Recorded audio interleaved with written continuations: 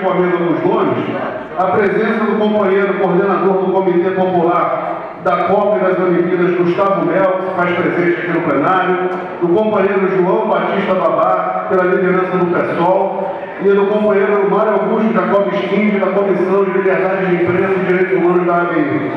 Quero dizer que está muito agradável esse aroma aí no Castigo da Paz, mas nós estamos em guerra em defesa da causa indígena. E quero passar agora a palavra para o combativo cartunista daquele traço sagaz, né? o combativo cartunista Carlos Latuf. Latuf, a palavra é tua, companheiro. Pega o microfone aí.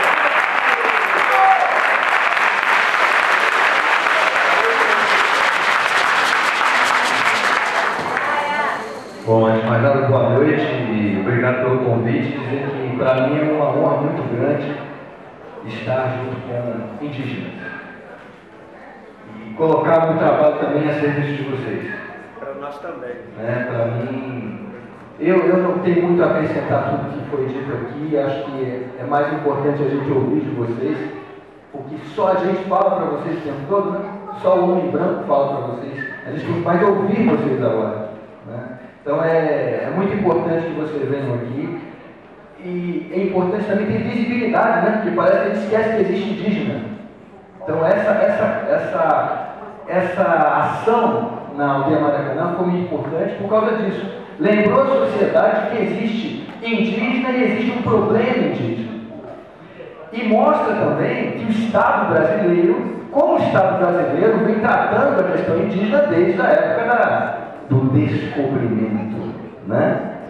Então, não há nenhuma novidade isso que acontece, esse vilipêndio que os povos indígenas vêm sofrendo. Bom, é, eu tive a oportunidade de visitar o Maracanã algumas vezes. Ah, estive nessa desocupação. Eu queria dar um testemunho. O poder público pede muito crédito, né? pede muita paciência, que aceite que o indígena é, ceda. E, na verdade, aquilo que aconteceu na aldeia Maracanã, os indígenas cederam. Eles cederam.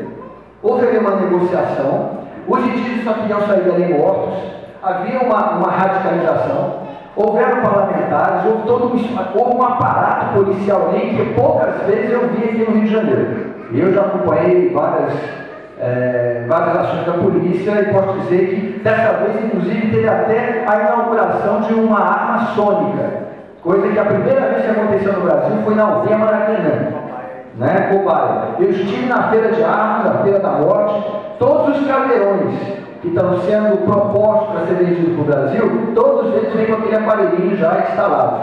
Já é kit base. Né? Já não é mais opcional, é kit base. Você já compra o caveirão, já vem o aparelhinho. Então, os indígenas acenaram com a possibilidade de sair dali. Eles, todo, todo o tempo que eles estavam ali, eles queriam negociar com o poder público. Quando os indígenas estavam saindo, as crianças saíram, eles fizeram aquela, aquele cerimonial de despedida. Fizeram uma fogueira e fizeram um cerimonial de despedida. Justo? Né? De repente, eu estava do outro lado da rua e eu vejo a polícia entrar, o choque entrar dando um tiro para o alto. E as pessoas sendo retiradas à força, é, spray de pimenta, porrada, etc. Isso eu vi. O que, que acontece? Esses indígenas, é, foi alegado que, eles, que a polícia entrou ali porque eles iam tacar fogo no prédio. Quem conhece aquele prédio sabe que ele é um esqueleto. Nem se você quisesse tacar fogo ali, você conseguiria. É um esqueleto. O que aconteceu? Havia aquela fogueira, houve uma fagulha numa oca de palha, veio os bombeiros e apagaram o fogo. Aquilo que aconteceu. Nós chamamos o bombeiro para vir apagar. E vocês chamaram os bombeiros para ver e eles apagaram, tudo certo. Mas a polícia estava ali, ela tinha que mostrar serviço.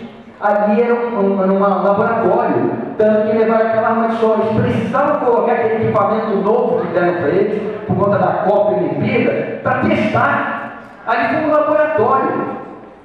Bom, o que, que acontece? Houve aquele, aquele fato lamentável, as pessoas foram agredidas, não há muito a que acrescentar, inclusive de fato, os direitos, os direitos humanos dos indígenas foram jogados na lata do lixo. E eu fui testemunha disso. Filmei, inclusive vocês passaram a ver o vídeo. Esse vídeo rodou lá fora, né? Isso é importante que aconteça, a gente tem que dar esse testemunho lá fora para ver se a gente consegue pressionar. Agora, eu só queria concluir duas coisas. Isso se está se dando porque os indígenas estão no caminho da especulação imobiliária. Essa é a questão. E assim vai ser com os quilombolas, as favelas e a Vila Autódromo. E no caso dos favelados, é ainda mais dramático porque o indígena ainda existe uma, uma carga muito pesada por conta dessa, dessa dívida que o Estado tem com os povos indígenas. Agora, o favelado, você nem vê, o pau quebra, caveirão, é, UPP, BOP, e você nem sabe o que está acontecendo. Né? Eles removem, ocupam. Quilombola, as pessoas não sabem nem o que é quilombola. Nem sabem o que é quilombola. Então, está havendo um avanço desse, dessa especulação imobiliária, né? Raio Patins, né? Sérgio Cabral. Sérgio Cabral é. O Sérgio Cabral, eu sempre digo, ele é o Álvaro Uribe carioca. Ele é a versão do ex-presidente colombiano. Né? Trouxeram todas aquelas táticas, estratégias lá da Colômbia, dos Estados Unidos, para aplicar aqui. E não se engane, isso que está acontecendo aqui com vocês é só o começo.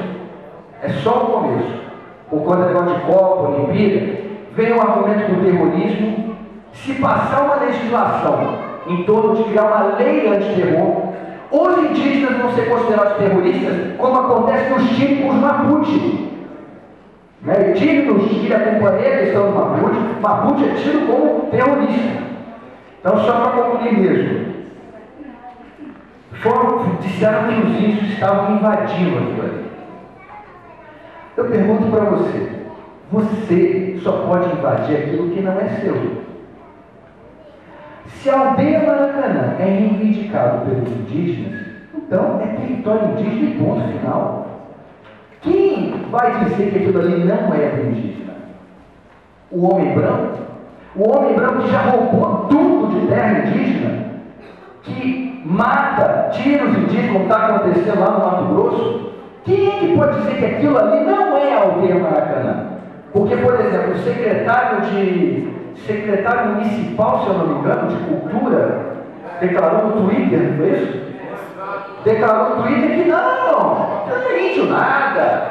É o pessoal com pena na cabeça e, e, e tinta no rosto. Quer dizer, é um absurdo. É uma tolice, é, pois é. Quer dizer, é uma maneira de você é apresentar essas pessoas que estão aqui como palhaços. Mas ali não tem palhaço. A causa indígena não é palhaçada. E vocês estão ali não por uma questão simplesmente lúdica ou sonhadora, não. Vocês estão reivindicando direitos. E na verdade, aquilo ali é a ponta de lança, aquilo ali é um lembrete do que acontece com a população indígena no Brasil inteiro. Só se invade aquilo que não é de vocês.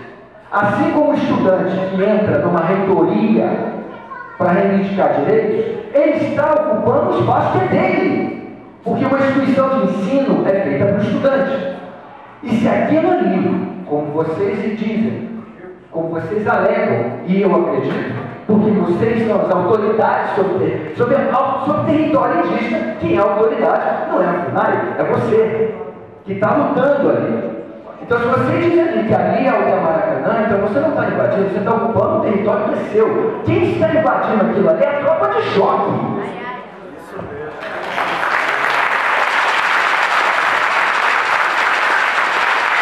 Quando você vai na Maracanã agora, você for agora e uma criatura da PM do choque, eles são os invasores, não vocês. E eu acho que vocês têm que voltar lá mesmo. E se vocês dependerem de mim, eu vou junto com vocês.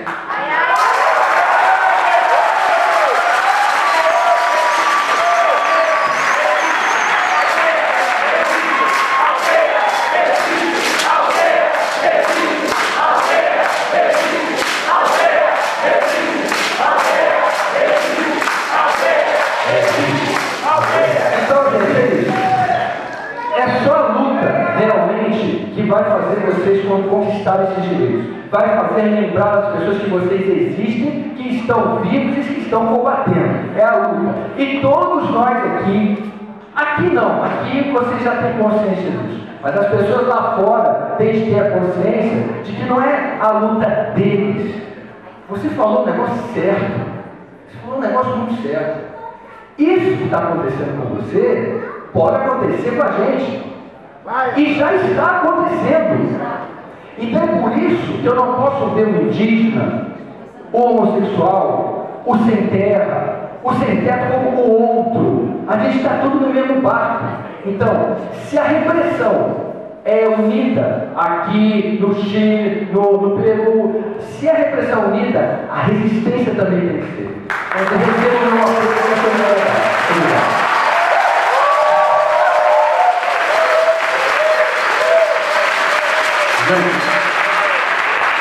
só um pouquinho de brevidade, vamos ser um pouquinho mais sucinto, mais breve na fala, porque a gente tem aquele teatro de 9 horas aqui da manhã, já são 8 e 10, até 8 e meia os convidados podem falar, a gente tem que abrir para a plateia, tem que abrir para o plenário, então vamos tocar aqui, a gente tem depois do lado a Tereza, tem o André de Paula do Fisch, tem uma série de pessoas, por favor, brevidade, Tereza, uma vez. Boa noite. Eu não tenho muito mais coisa a acrescentar, eu acho que, que coisas muito importantes já foram ditas aqui. É, eu estou contente de estar aqui porque a gente se sente menos sozinho, porque com certeza essa é uma luta de todo mundo. Com certeza, sendo índio, alemão, cachorro, tem que defender o Maracanã, tem que defender a vida. Eu acho que a vida só se alimenta de vida. E eu queria falar para Dilma, para o Sérgio Cabral, para o prefeitinho, para aproveitar essa oportunidade de olharem para a vida, de darem valor para outra coisa, um momento só, esqueçam um pouco que estão acostumados e olhem para outra coisa, olhem para a vida, para o ser humano. Como é que a gente faz isso? Como é que a gente que está aqui faz isso? O quê? Abstenções?